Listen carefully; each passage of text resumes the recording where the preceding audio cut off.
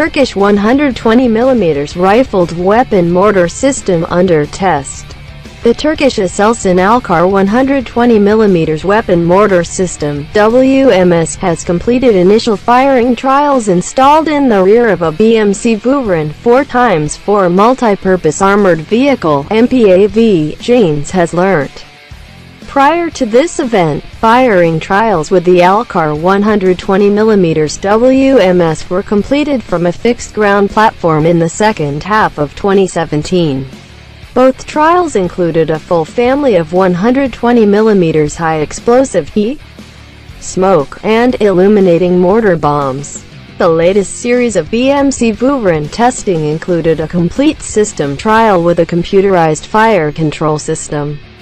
According to Aselsan, development of the Alkar 120mm WMS will be completed by the end of July 2018. For its new role, the Vuran 4x4 MPAV has a modified roof with two power-operated hatches that open left and right to allow the mortar to be fired. In this configuration, when traveling, the Aselsan Alkar 120mm WMS is virtually indistinguishable from the standard BMC Vuran 4x4 MPAV. The Aselsan Alkar 120mm WMS is mounted on a turntable that can be rapidly traversed through a full 360 degrees. The mortar has powered traverse and elevation and is fitted with a computerized fire control system for greater accuracy and reduced into-action times. The 120mm mortar is fitted with a special recoil system so no stabilizers are required to be engaged before the system comes into action.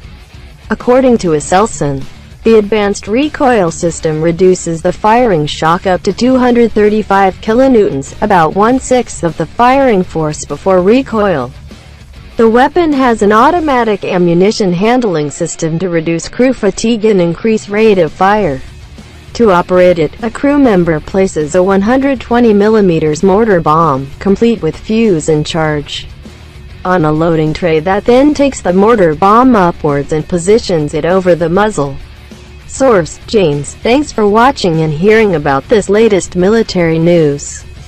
Video is just an illustration and hope you enjoy it.